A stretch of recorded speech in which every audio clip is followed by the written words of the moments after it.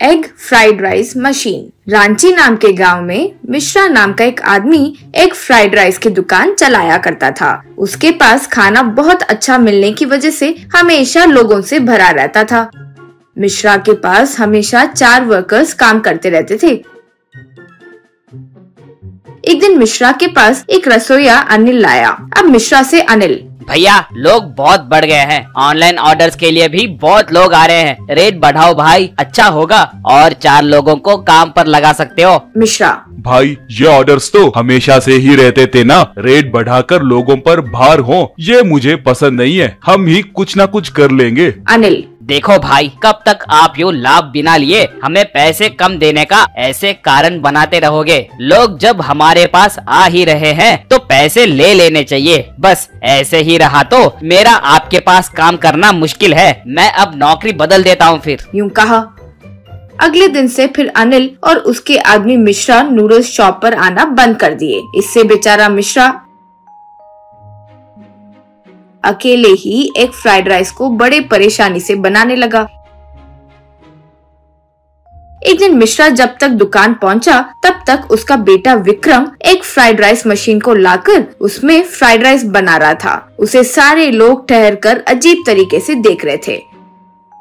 अब विक्रम के पास आकर मिश्रा, बेटा, अच्छी नौकरी चल रही थी तुम्हारी। ये सब क्या है? विक्रम। पिताजी आपकी मदद में आना भी तो मेरा ही काम है। वर्कर्स के बिना जो परेशानी हो रही है मैं कब से देख रहा हूँ। देखो करेक्ट टाइम पर हमारा ये मशीन तैयार हुआ। अब बस एक और इंसान हो तो बस ये मशीन सब कुछ कर लेगी। मिश्रा। रे मशीन वगैरह सब अच्छा है रे लेकिन ये सब इस्तेमाल करेंगे तो लोगों के लिए मुश्किल हो सकती है ना? ये एक मशीन के वजह से चार लोग बेरोजगार हो जाएँगे ना? विक्रम। ठीक है पिताजी आप ये सब सोच रहे हो अच्छा है लेकिन अब तुम्हारे पास इतने समय से काम कर रहे लोग वैसे क्यों नहीं सोच रहे हैं? चुपचाप चले गए ना? यूँ कहा मिश्रा। पता नहीं रे ये मशीन ये सब मुझे नहीं पता। दो दिन बैठकर सिखाओ देखते हैं। यूँ कहा इससे विक्रम पास में रहकर पिता को एग चिकन फ़िश प्रॉन्स अलग अलग किस्म के फ्राइड राइस मशीन में कैसे तैयार करना है सब सिखाया। लोग उस फ्राइड राइस मशीन को देखकर विक्रम की खूब प्रशंसा कर रहे थे।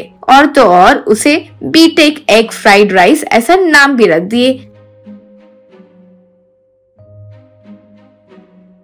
ऐसे कुछ दिनों में मिश्रा को विक्रम फ्राइड राइस मशीन के बारे में सब सिखा दिया।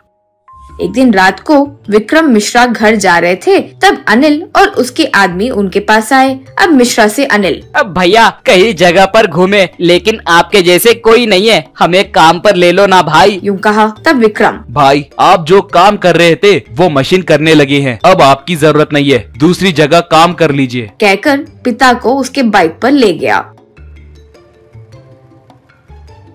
ऐसे दो दिन होने के बाद, एक दिन रात को अनिल और उसके आदमी चोरी छिपे मिश्रा के दुकान पर आए और उस मशीन को खराब करने के लिए सोच रहे थे। तभी उन्हें आगे विक्रम मिश्रा दिखाई दिए। अब पिता से विक्रम। देखा, जैसे मैंने कहा, ये अब इस मशीन को खराब करने आए हैं और आप अब भी रोज कहते रहते हो कि इन्हें काम पर लगा दो। तब अनिल। विक्रम बेटा हमें माफ़ करो बेटा। सच में कोई काम नहीं मिल रहा था इसलिए ऐसे करे। जान मूझ कर नहीं हमें सबक मिल गया है फिर कभी ऐसे नहीं करेंगे। यूँ कहा तब मिश्रा। रे इनका मुँह देख नहीं सकता। ठीक है कल से काम पर आ जाओ। जाओ। कहा तो वे खुशी से चले गए।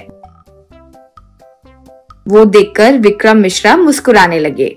फिर उसके बाद से अनिल वाले भी अच्छे से काम करने लगे और एक फ्राइड राइस मशीन से और ज़्यादा लोगों को फ्राइड राइस सप्लाई करने लगे।